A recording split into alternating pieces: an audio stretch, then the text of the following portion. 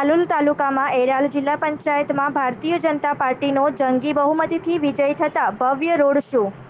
Bureau report ભાવિનભાઈ પરમાર, પંચમહાલ. નમસ્કાર દર્શક મિત્રો, હું છું Bhavin Parmar SBN TV news Panchmahal. આજરોજ આપણે વાત કરીએ તો આજે વહેલી સવારથી જે સ્થાનિક સ્વરાજ્યની જે ચૂંટણી યોજાઈ હતી, એની જે મતગણતરી હતી અને એનું જે પરિણામ આજ વહેલી સવારથી જા- જાહેર થઈ રહ્યું છે. તો આપણે કાલુલ તાલુકાનું વાત કરીએ તો ઓગણીસો ને નેવુંની સાલથી વાત કરીએ તો કાલુલ તાલુકો એ ભાજપનો ગઢ રહ્યો છે. અને જે કોંગ્રેસ છે એ હજુ સુધી પોતાનું ખાતું ખોલાવી શકી નથી. બરાબર? અને કાલુલ તાલુકાની વાત કરીએ તો સ્થાનિક સ્વરાજ્યની ચૂંટણીનું જે પરિણામ છે, એમાં જેટલા બી પરિણામ જાહેર થયા છે, એમાં અત્યાર સુધી ભારતીય જનતા પાર્ટીનો જંગી બહુમતીથી વિજય થયો છે. અને હાલ આપણી જોડે ઉપસ્થિત છે જે એરલ જિલ્લા પંચાયતના ઉમેદવાર કૃષ્ણકાંત શાંતિલાલ પરમાર. આપણે એમની સાથે એસબીએન ટીવી ન્યૂઝના માધ્યમથી આપણે વાત કરીશું કે એમની જે જીત છે એ એમની જે જીત છે એના વિશે એ શું કહેવા માંગે છે?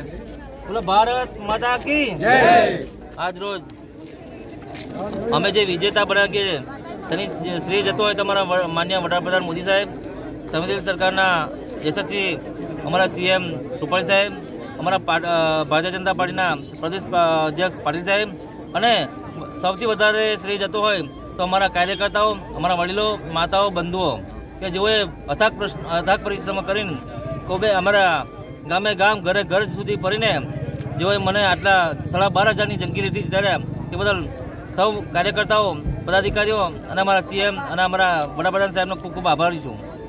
કૃષ્ણકાંત શાંતિલાલ પરમાર કે જેઓ જંગી બહુમતીથી વિજય થયા છે એમને ભારતના વડાપ્રધાન અને ભારતીય જનતા પાર્ટીના જે કાર્યકરો છે એમને બહુ ખૂબ ખૂબ અભિનંદન પાઠવ્યા છે.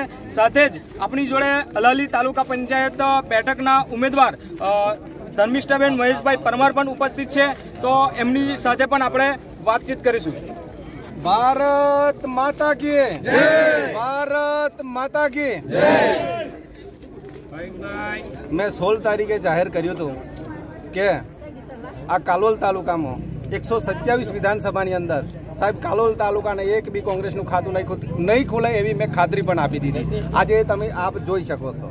બીજું કે અમે જે વિજય થયા છે એ તમામ મતદારોનો ખૂબ ખૂબ આભાર માનીએ છીએ અને અમારી અગાઉની રણનીતિ જે રહે છે આજ સુધી દરેક મતદાર ભાઈઓએ કે દરેક લાભાર્થીએ અમારી સુધી જે જવું પડતું હતું કામો માટે, એ અમે દરેક મતદાનના ઘેર જઈને અમે એનું કામ કરવાના છીએ મિત્રો. ભારત માતા કી. આપણે જોયું અને સાંભળ્યું પણ ખરું કે કાલુ તાલુકો છે, એ ભાજપના ભગવો જે લહેરાઈ રહ્યો છે અને તમામ લોકો છે એ ભારતીય જનતા પાર્ટીના રંગે રંગાઈ રહ્યા છે. બરાબર? તો